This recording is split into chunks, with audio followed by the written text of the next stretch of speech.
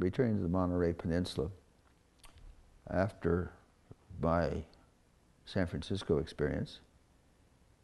I lived with my then wife, and the child was growing up, and we lived uh, just up the Carmel Valley, about two or three miles. Uh, we built a house the, uh, for $85,000 and, a, a, and a, a lot for $3,000. And the reason why the lot cost $3,000, it was an acre. And uh,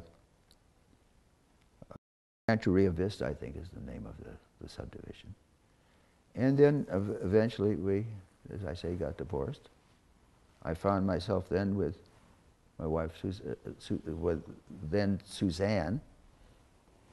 And we, we lived together for, for a year before we got married, which was unusual at that particular time.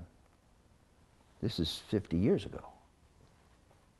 Uh, and then, of course, we got married, and we lived in Pebble Beach. Uh, and, and I've lived there ever since. Sold the house recently after my wife passed away last year. And, and now at the retirement community that is uh, Monterey, Park Lane.